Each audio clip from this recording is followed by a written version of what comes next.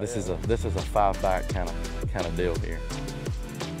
We had a lot of bites yesterday. We just we took the hook off on our on a Speed Craw because that's the only thing we were getting bit on, and just kind of figured out fish some of the grass we didn't fish back here. Uh, second or third or the second day of practice. Hopefully everything pans out. We can catch a few fish.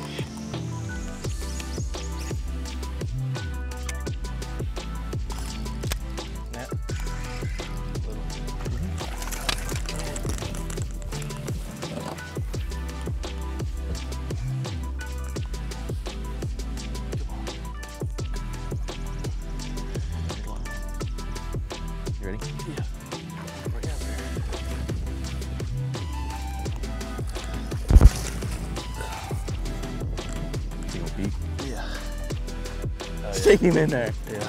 That's our first one. Look how fat that thing is. He's 14 inches long. He's freaking fat.